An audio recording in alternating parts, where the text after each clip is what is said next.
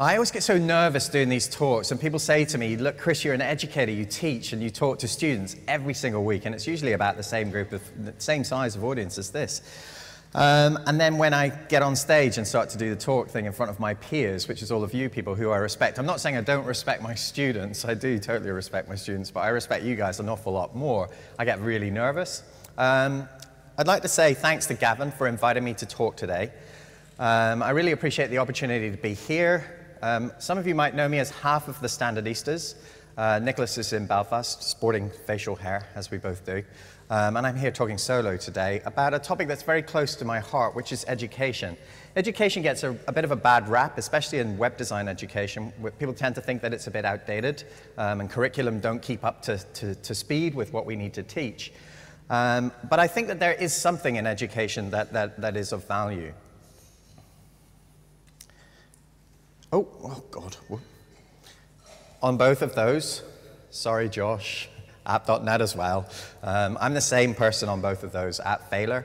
And if you want to have a chat, uh, we are navigators, hashtag we are navigators.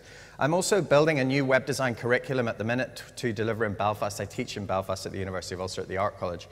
Um, and so if you want to help shape a new design curriculum for the web, I'd be really interested in having a chat with you um, afterwards. Probably that would be really good over a beer, which would be nice. Right now, I should have asked for a beer on the stage.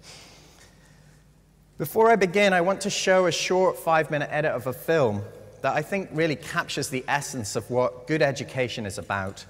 I believe it's worth sacrificing five minutes of the talk to, to show this, and I checked with Gavin first because I didn't want him to think I was being lazy and getting on stage and then just showing you a film.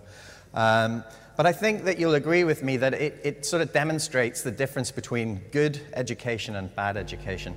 And the film is Dead Poets Society, and the scene is the final Oh Captain, My Captain scene. I think even if you haven't seen the film, you'll understand what it's about with that scene. Um, and if you haven't seen the film, I'd urge you to watch it to understand the power that education can have on people's lives. So I'm going to go off stage, and you're going to watch a film for five minutes.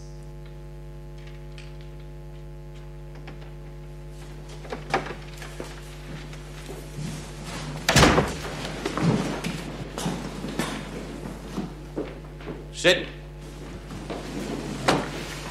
I will be teaching this class through exams. We'll find a permanent English teacher during the break. Who will tell me where you are in the Pritchard textbook?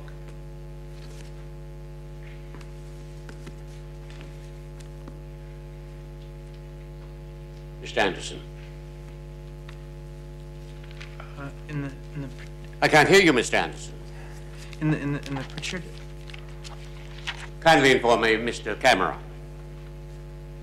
We skipped around a lot, sir. We covered the romantics and some of the chapters on post-Civil War literature. What about the realists? I believe we skipped most of that, sir. All right, then we'll start over.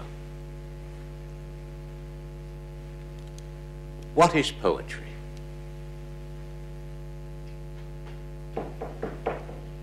Come. Excuse me. I came for my personals. Should I come back after class? Get them now, Mr. Keating. Gentlemen, turn to page 21 of the introduction. Mr. Cameron, read aloud the excellent essay by Dr. Pritchard on understanding poetry. That page has been ripped out, sir. Well, borrow somebody else's book. They're all ripped out, sir.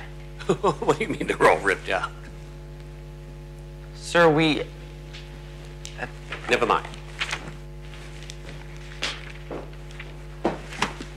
Read. Understanding Poetry by Dr. J. Evans Pritchard, Ph.D To fully understand poetry, we must first be fluent with its meter, rhyme, and figures of speech. Then ask two questions. One, how artfully has the objective of the poem been rendered? And two,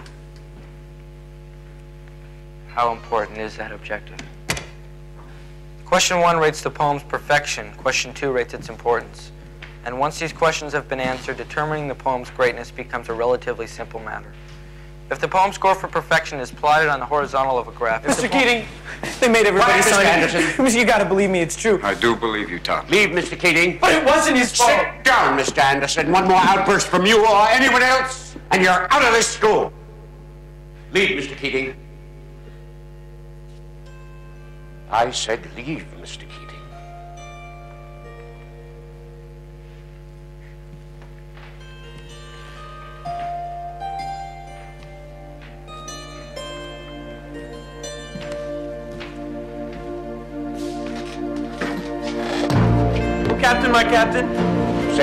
Mr. Anderson. You hear me? Sit down. Sit down. This is your final warning, Anderson. How dare you? You hear me? Oh, Captain, my captain. Mr. Overstreet, I warn you. Sit down.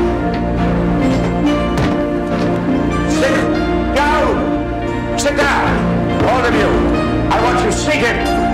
Sit down. Leave, Mr. Keating.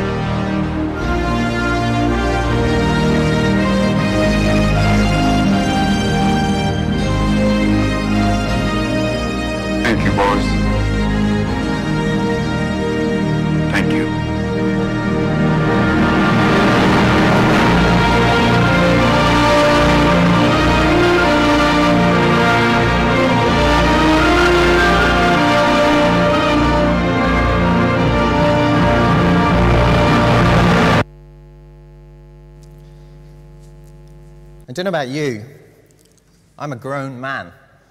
And every time I watch that film, I, I start to cry. Um, and I've been training myself to watch that clip so many times that I don't cry on stage. Uh, he has had a transformational effect on those students. He has turned them into something that they weren't before they met him. Two different educators. One works from the heart, and one works from the textbook. And both of those lead to very different outcomes. Ask yourself, who would you rather be taught by? Mr. Keating, who invites his students, if they're daring, to call him, Oh, Captain, my Captain, or Mr. Nolan, who expects to be called nothing but Sir. Mr. Nolan sticks to a rigid and formulaic view of education. He espouses a scientific approach to learning where poetry can be mapped according to the scientific axis of a graph. When Keating tells Nolan earlier in the film, the idea of education is to learn to think for yourself, Mr. Nolan replies, At these boys' age, not on your life. In many ways, Mr. Nolan echoes the world of education today a mechanical model that doesn't really understand learners' needs and different learning styles. I believe Mr. Nolan's views also fail to reflect the true potential of education to truly transform the learner. Mr. Keating, on the other hand, adopts a different, holistic approach to learning. He inspires his students. He helps them to find their passion. He enables them to identify their dreams. And he encourages them to pursue those dreams wholeheartedly. Mr. Keating develops what I like to call a whole mind, which is a topic I'll be covering shortly. I believe in this film and in that scene, we see the essence of two very different approaches towards education, and I'd like to explore that a little today. One approach teaches to a formula, and the other understands that education needs to be more fluid and needs to be shaped to the individual. So, what I'm going to be covering is broken down into five sections. I'm a big Wittgenstein fan, so I like to put numbers beside everything. I also have a wee bit of OCD as well, so you wouldn't guess it looking at the scruffy way I'm dressed. First, I'm going to be looking at revisiting and rethinking models of learning that we currently use. And then I'm going to be considering a return to an older model of learning, the master apprentice model, and how we might learn from that, and possibly go back to that. Then I'm going to look at a typical learning journey, which is my journey, uh, which might involve some more crying. I haven't actually cried yet, but it could, um, because it's about some people who had a massive impact on me. And then I'm going to look at the importance of teaching through making, about people who teach the topic that we work, the industry that we work in, need to be actually making things. They can't just teach theory. And finally, I'm going to be considering time, the time that we have as individuals on this earth and how we need to use that time effectively uh, for the best of our purpose. I am an academic, I'm an educator. Um, I'm also a web designer as well, okay? Just in case you think I'm some kind of not doing any of this business, okay? I'll show some of that later. Um, but yeah, educators get such a bad rap. But as an, I quite like calling myself an academic. I have a tweed jacket, and it's sitting in the green room. It's too hot to wear it today. Um, and I would love to have like a study with a roaring fire where students could come in and I could just do long tutorials for hours on end. Um, in addition to my work as a designer and all of that, I, obviously as an academic, I, you know, I read quite a lot of stuff. Um, you don't need to be an academic to read, um, but you're sort of expected to if you're an academic. So I wanted to talk about some texts that have informed this particular talk today. These three books, when you read them, um, are about finding purpose, finding meaning and a goal in life, and pursuing that goal as effectively as possible. I'd really strongly urge you to buy them. And if you follow those jump links, j.mp, finding your passion, I get some money in the Amazon thing. Awesome. This first book is called The Element. It's by Sir Ken Robinson, and it's about finding your passion, finding the thing that motivates you, finding the thing that really excites you. If you can pursue passion, your calling, then work isn't really going to be work anymore. It's going to be something you really love doing, and time will just fly by. I'll return to that theme shortly, but I think it's critical that educators play a role in helping students to understand what their passion truly is. Robert Greene's book Mastery, you can buy it for the Kindle, um, but I would say get the book. The printed book's quite a nice object. Um, j.mp slash on mastery. Uh, revisits the tried and tested model of the master apprentice model of learning. And I think that that's something that we could probably return to in education. And finally, Peter Drucker's book, Managing Oneself. It's a very short but very powerful book. It's only about this size. Again, I think you can get that for free on the web. It's a Harvard Review PDF. Um, but buy the book, it's just a beautiful thing. Uh, you can read it in the time it takes to get on the plane to Belfast at 7.10 in the morning and get yourself a gin and tonic at 7.10 in the morning, which I did, because uh, I felt like I'd earned it. And also, I felt like I was out of time at that point in time. And, and read the whole thing by the time you get to Newcastle. And it will change your thinking. It's about managing yourself and about managing your relationship with other people. And it's about becoming as effective as possible. I believe that formal education has potential, but I think it needs a little love and attention. I think we need to revisit how we teach and rediscover how best to inspire the next generation that's coming through. Sir Ken Robinson, if you haven't seen the talks by Sir Ken Robinson um, on TED.com, go and watch them. It's like half an hour of your life, which will change your understanding of education and its potential. He talks about the difference between an industrial model of learning and an agricultural model of learning in a 2006 talk, well worth watching. He says we need to move from an industrial model of education, a manufacturing model that is based upon manufacturing principles, where things go like this and happen in a linear fashion, uh, towards a more agricultural model where we start to cultivate a mind and put in place the pieces for a mind to flourish. He says we have to recognize that human flourishing is not a mechanical process, it's an organic process. We need to understand that learning isn't built on templates, it's built on people. And we need to grasp for the mind to truly flourish Flourish. That's like your specificity word, Harry. It's tough, especially with, when you haven't had a drink. Yeah. Can we get drinks on the stage? For a, a mind to truly flourish, we need to grow it. Education, as it currently stands, because I'm working in this industry, is based on this manufacturing model. It's built on linearity, it's built on conformity. Educators build curriculum, they build systems, they have modules, there's, there's this whole kind of language which personally I hate. Um, and I think that's wrong because we as individuals are not one size fits all. We're different, and so we need to tailor education to the individual. I think we need to move towards an agricultural model of education where we establish a framework for learning and allow the person at the heart to flourish and grow. We need to cultivate learners and tend to their different, differing needs. My wife is a, is a gardener. Um, she has like a vegetable patch. And so she goes out, and I'm like, no, I'm not helping you dig those things. I'm on the computer, I'm working. Um, she's digging the stuff, and she, she, she tries to grow potatoes. And she does successfully grow potatoes, we eat them. Uh, I don't want you to think my wife is a failure at being a vegetable gardener, because she's not. Um, you can't be 100% sure that the potatoes are going to come out, but you can put the framework in place for the potatoes to grow. And I think that that's, a, that's an interesting way of thinking about how we grow a mind. This is a huge change culturally because it is going to force us to revisit education and how we currently deliver it to move towards a slightly different model that is more bespoke. I recently had a discussion with Alan Livingston, who, if you don't know him, is a really, really inspiring guy. He's one of Britain's leading design educators, and he's now a visiting professor at my university. And if you've ever spoken to Alan, I know that Adam is here, and he knows him. He's awesome, isn't he, Adam? He's the most awesome guy. Um, and we're having a conversation about teaching. And he said to me, You're a designer, Chris. And I said, Yeah. And I kind of listed some things I do as a designer. I said, yeah, a graphic designer, you web designer, you know, I do design services, I, you know, I design lots of things. And I completely misunderstood what Alan was saying.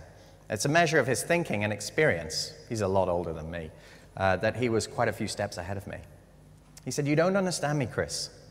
You're a designer of minds. This just totally blew my mind. I was like, Poof. My, my brain just exploded all over the table. I was like, what?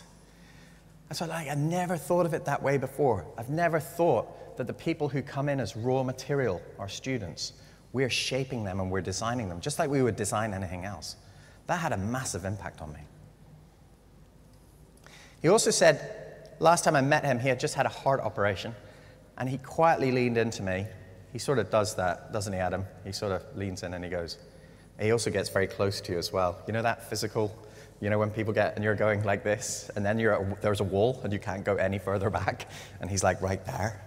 And he said, uh, Never be ashamed to call yourself an educator. I thought that was interesting. As educators, we are designing minds. That is a huge responsibility, and it's something we shouldn't really enter into lightly.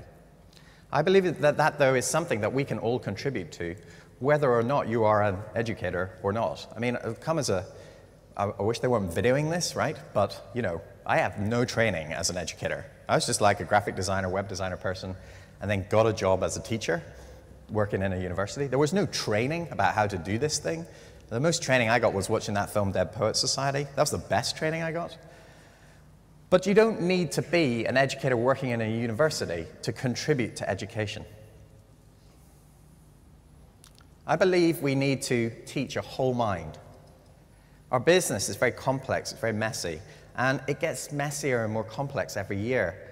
Teaching to a rigid curriculum and sticking to that rigid curriculum uh, to deliver to our students doesn't really work. We need to move towards something a little bit more fluid, and we need to discover ways to design minds. Most educators who teach web design will tell you, well, I hope they would tell you this. Um, some of them are a bit shit. Um, edit that out. Um, will tell you that this is the stuff we need to teach. We need to teach technique, we need to teach skills. I think not all web designer educators would teach you about craftsmanship. I, I'm not sure that they all would. I don't know that they would all teach you about business, but I think that they should. And these are the core skills that we need in order to function in the world that we work in. And uh, they would then think that that was a pretty good job. But I think we need to teach this other bit as well. Call me old fashioned, some might disagree, but I think we should be teaching self confidence, belief, manners, politeness. Very, very old fashioned, totally. Nobody ever says thank you anymore. It's an awful shame. By the way, thank you, Gavin, for organizing all this. Awesome work. We need to instill confidence, self belief. We need to instill these soft skills in our students because those are the kinds of things that, that, that come together that make somebody a really good practitioner. If we teach this bit and we teach this bit and we put them together, I think what we get is a whole mind. And I think at the minute, most curricula are only teaching a tiny fragment of that.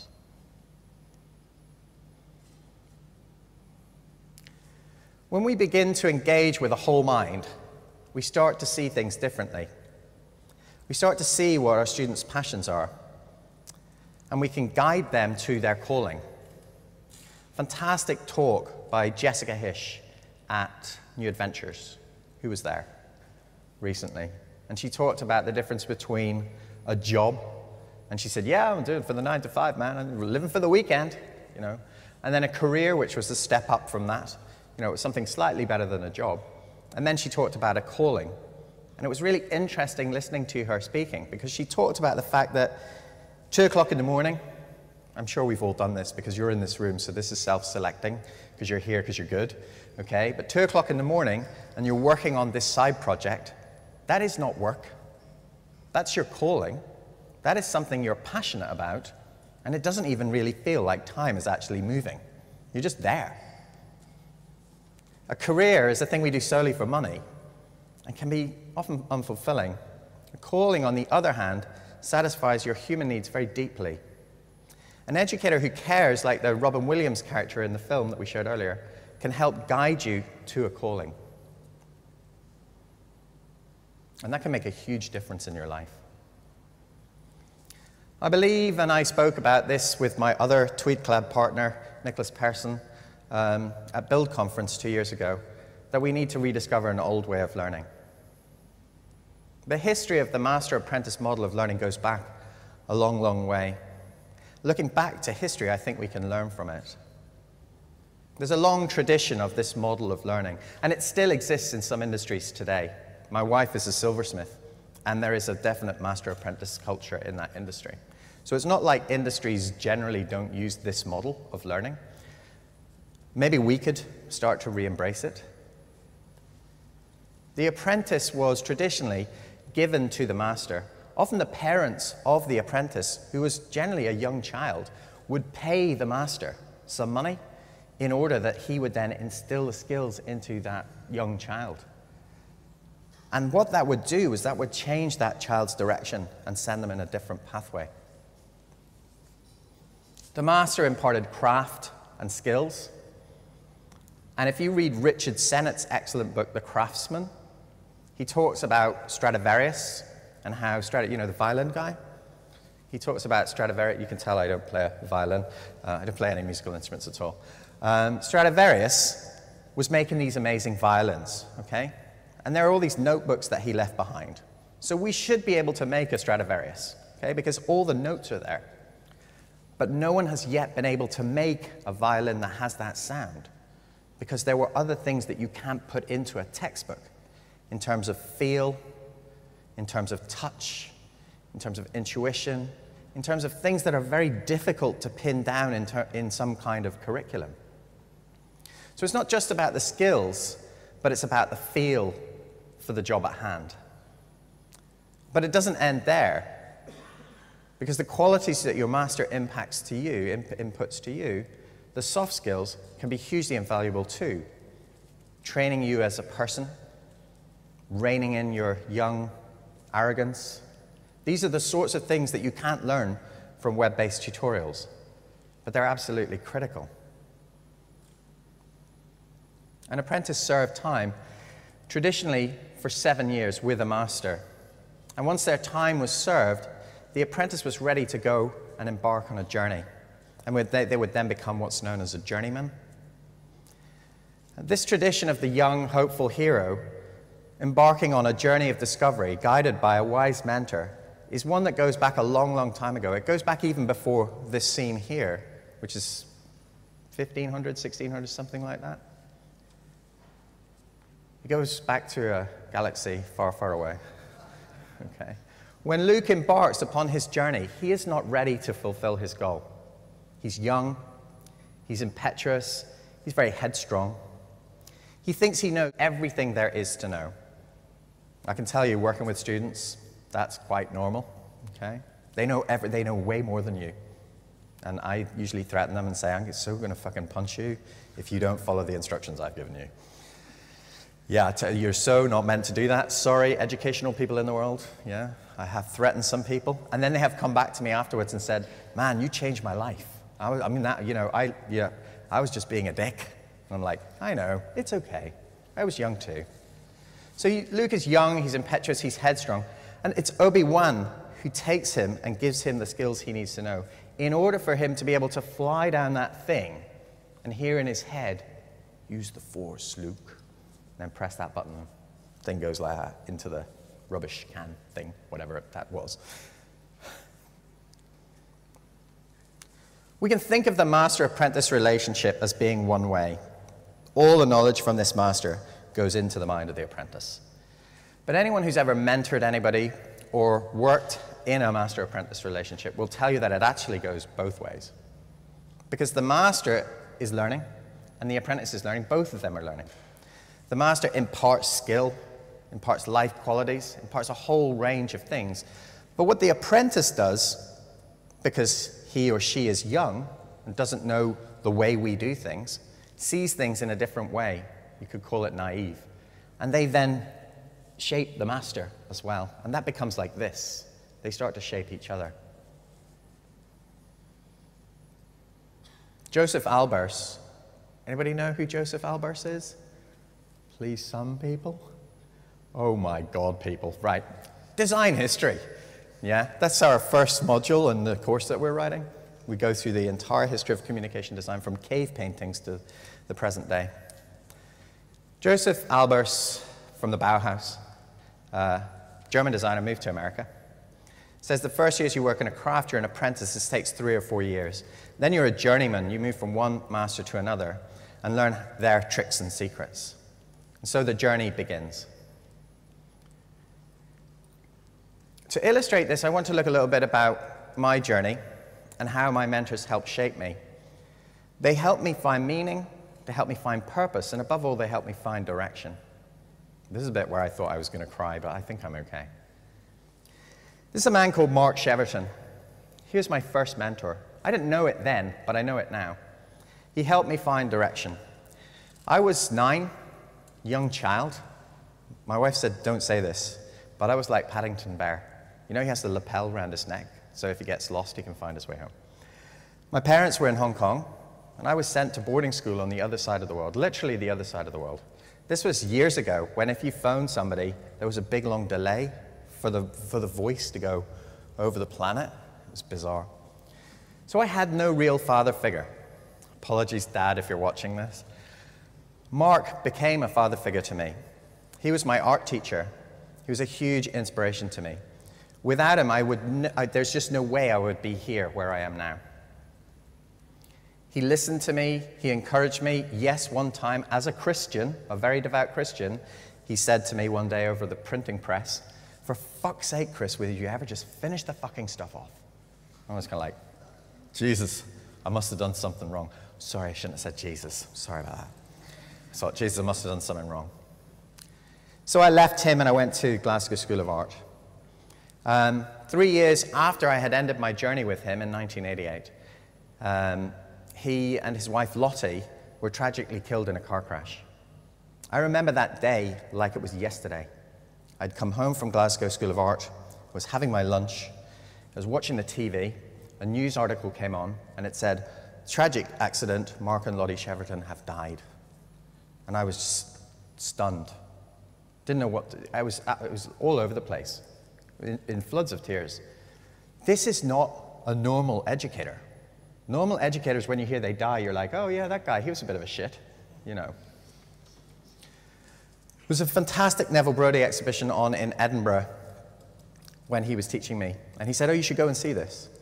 And I went to, that, to the Fruitmarket Gallery in Edinburgh, saw this exhibition, and I was like, that is it, that's what I want to do. I want to be a graphic designer. And that completely changed my direction. That work there was the opposite of what Mark was doing. Mark was a printmaker. But he knew what I needed, and he sent me in that direction. My second mentor was a guy called Barry Smith, and he taught me my craft. I lived with him in Canada for a while, and I phoned him the other day, and he was like, Holy shit, Chris, because we haven't talked for about over a decade. And every day he came into the studio and he gave me things. He would sit down and he would say, Draw that Vatel logo. And I was like, What?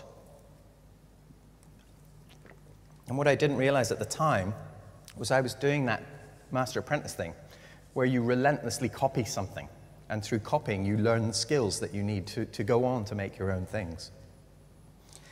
In addition to focus, focusing on developing my skills, he also shared his business knowledge with me. He was the most sharing guy I've ever known. You know, he opened up his books. He showed me his books. That's the accounting books I'm talking of, not the other books. Um, he explained to me how the, the studio worked. He explained to me how to c- control jobs. He told me all of this stuff. Some, some people would think that is sensitive business information. But he knew that if I was to run a studio myself, I needed to have that knowledge. Bezier's. That's all I can remember from Barry. But from Barry, I talked to him the other day and I was like, Bezier's, Barry. Jesus. Fucking hated it. He taught me to draw on a computer. This was in the days when computers were quite new, okay? Because I'm kind of old. And my last mentor was a guy called Rodney Miller. He sadly passed away a couple of years ago. Uh, he died of cancer. Um, and I still remember the last time I met him. He came in to see me one day in the college, and he was a shadow of himself. He was dying, I could see it. Um, and I, I was struggling to hold it together. And we were in a meeting, and I said, I'm gonna, I'm just gonna nip out for a wee smoke. And he said, you know what? I'll just come with you. And I was like, Rodney, is that a good idea? Because like, You've got cancer. And we sat outside and we had a cigarette together. And I'll never forget that moment. He taught me the importance of values. He showed me that if you believe in someone, you should invest in them. I had a crazy idea that I wanted to run a record label, and he decided, Do you know what? I'm going to give you a day off a week. Just don't tell anybody else in the studio that I'm paying you for the full five days a week, and you just do the record label stuff on Friday. And this is like 20% time Google stuff before they were doing that. Google wasn't even invented then. And he paid for all of this. He bankrolled this record label because he believed in me. Combined, these mentors had a sort of slingshot effect. You know, you send a rocket to a planet and it goes around the planet and then it goes really fast in a different direction. It's like you go around this rocket, Mark, and he sends you here. And then you go around this rocket, Barry, and he sends you here. And you go around this rocket, Rodney, and then you're suddenly hurtling out into the universe. Those three people coming together have sent you in a direction that is more than the sum of the parts. I believe in paying it forward, taking inspiration from other people who inspired me in the past, and then doing my best to pass that knowledge on to the people that are following me. I believe that we all have opportunities, whether or not we are educators, to contribute to our industry, to share our knowledge freely, to empower a new generation of designers. We need to rediscover the powerful role that mentors can have within the design education process. And if Sybil Weber is here, who we're working on the mentoring thing, we could talk about making it better, you know, because of my crazy ass schedule. But I think there's some value in it. And we had some really good talks about your website. And those little jewel things are looking really nice.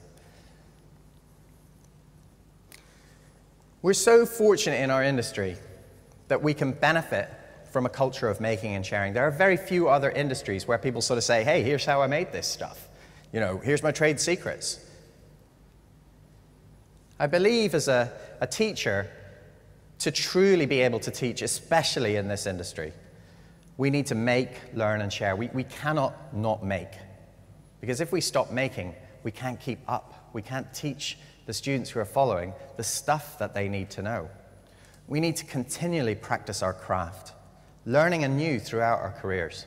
It's a bloody nightmare, isn't it? Keeping on top of this stuff. But you know what? We have to do it. And it's the educators who go, God, what a bloody nightmare. Just get us a glass of wine, would you? You know, those are the people you don't want to teach you.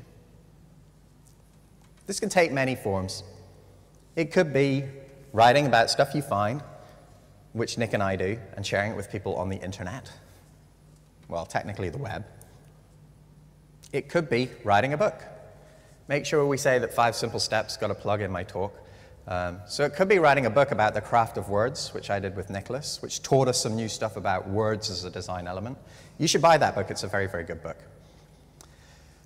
It might be getting in the mess, messy in the trenches and building a shiny new web application. You should go and take a look at Get Invited, the stand over there. That's two of my students. Well, one is technically a graduate now, and the other, yeah, he's almost a graduate. Unless he fucks it up royally in the next two weeks, you're home and dry, Kyle, okay? So this is a web application that we're building for ticketing. Man, I learned a lot doing that. Or it could be conjuring up an excuse oh, Jesus, those slides look really terrible. To buy that little printer, you know the little printer thing? And my wife said to me, There's no way you're buying that little printer. And I was like, Okay. When she found out it was 200 quid. And I was like, Okay. So I went into my studio and I made a publication for a little printer so that the next morning at 4 o'clock in the morning when I came to bed, she was like, What have you been doing? I was like, I'm making a publication for little printer and I've been dealing with the guys from Berg and they're going to release it on little printer. I need to buy a little printer now. Awesome. I have one of those. It's so cool. An educator who is not a maker is only telling half the story. We need to share freely, not just the technical knowledge, but all of the knowledge that one needs to succeed in this industry. When I think back on my mentors, Mark, Barry, and Rodney, they shared absolutely everything with me. They kept nothing a secret. They told me what it means to have a goal in life, why craft matters, and the importance of values. And they were my friends. And so when, they, when two of them passed away, God, I'm really trying to hold it together here. Uh, when two of them passed away, that had a huge impact on me. We need to encourage an understanding that hard work can't be bypassed. We need to encourage people to understand that education can't be bought, it has to be earned. We need to give back. In closing, I want to talk about breakfasts. I'm not a big breakfast person. Gavin, I could have saved you some money because I didn't actually eat my breakfast, and I'm not going to eat it tomorrow either. I just wake up with a hangover and I'm like, oh my God, why was I drinking so much last night? I'm going to go on stage tomorrow. Fantastic article by Trent Walton called You Are What You Eat. If you haven't read it, Google it and read it. In it, he talks about breakfasts he talks about what you make is what you will be asked to make. So if you're not happy with what you're doing, make stuff that you want to make, because then other people will ask you to make that too. But he talks about breakfast, and he says that the US citizen, the average US citizen man, will have 28,616 breakfasts in their entire lifetime. The good news for me is that in the UK, we have a higher life expectancy. Brilliant. Get more than 28,616. The bad news for me is I smoke like a chimney, I drink far too much, and I just generally have a very unhealthy lifestyle. So I, if I was a good li liver, could get 31 something breakfast, thousand breakfasts. I've already used up 15,876 today. That's accurate to today. So I've only got 15,149 left. That's assuming I stop drinking as much as I do and give up smoking, which is not going to happen. So I'm on the way out. Oh dear, what a shame. I said that to Cara the other day. I said, I'm, in the, I'm, in, I'm, in, I'm at the end of my life. And she said, What? And I was kind of like, Yeah, I'm in the second half. You know, look at this calculation. So it's important that we make every single day count. We often see this tarred old cliche rolled out those who can do, those who can't teach. Anyone who's ever done any teaching knows that whenever somebody says that to you, you, you, you have to overcome a strong urge to punch them repeatedly in the face because they don't really understand how difficult education is. I don't believe Mr. Mencken, who said that, had any experience of teaching. I also think it's a rather negative sentiment those who can do, those who can't teach. You know, could we be more positive than that? And so I changed a couple of letters, and I ended up with this Those who can do, those who care, teach. As a teacher, you have a responsibility, a huge responsibility. You're not just delivering lectures, facilitating tutorials, or giving a critique on a piece of work. you're shaping a life. Sometimes you're changing a student's trajectory. That is very serious. Of my three mentors, two out of three were not teachers. They worked in industry just like you. You don't need to be a lecturer to contribute to education. You just need a willingness to get involved. We can all give something back. We can all make a difference. You only have a limited number of breakfasts. Ask yourself, what can you do to help shape and build our industry? Thank you.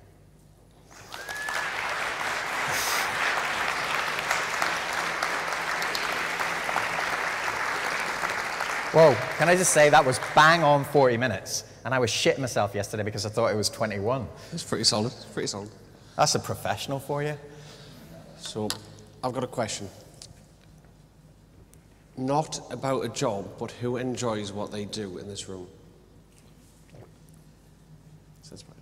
Right, now hands down. Who enjoys their job? About half. I do. Who has who hires people in this room? Do you find it difficult? To keep your hands up if you do. Yeah. Chris and I have had this conversation for quite a while, haven't we? It's been going on for Long about time. two years. Yeah, it's Um, longer than two years. Hate to. We've used a lot of breakfasts on it. We have. What is the thing that you find hardest with education? The thing I find hardest with education is that you, with our system that we have at the minute, is that you build curriculum and that has to be written down on a piece of paper in a document, and then you, you're expected not to veer from that. Um, and so the, uh, you know, someone will say to you, oh, we can't teach that there, that new emerging technology, because uh, it doesn't say it in the document. Um, and so that is a big challenge. Um, but the way to overcome that challenge is just to go, fuck it, we'll just do it anyway. That's what I do. Yeah, I just ignore that document. It's a guideline, you know. Again, Jesus, don't show this to the VC of the University of Ulster. Has anybody got any questions? We've got. Go on, Libby. Hi, Libby.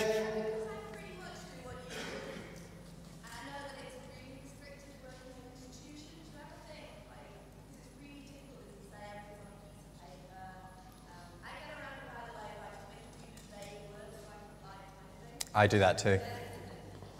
In this module, we will teach some, teach some technical skills.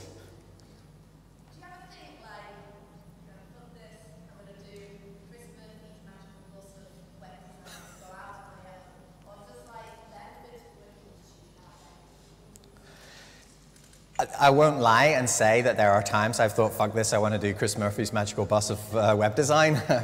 awesome, let's, let's trademark that. Um, but there are some benefits to being in, a- in, a, in a building that has all of the facilities that you need and that has a library and has all the things that one needs in order to teach properly. I won't lie and say that I'm not frustrated that of the 100 students I see in final year, who I teach every year, I know that 10 of them are going to be amazing and 40 are going to be okay and 50 are basically just turning up to get a degree. Um, but those 10 make a huge difference. You know, I'm very proud of the work that my students are doing. I answered the last question of the legacy. Mm-hmm. Is that Gavin was interviewing me for the website. I was so slow at replying to the questions. Finished it yesterday, and the one question was, What's your, "What would your legacy be?" And you know, I mean, I've done some stuff in my work, which is great. But my students, I think, are great. You know, they're, they're going on to do amazing things. You know, but yeah, it's frustrating, but you can you can work against it. You know.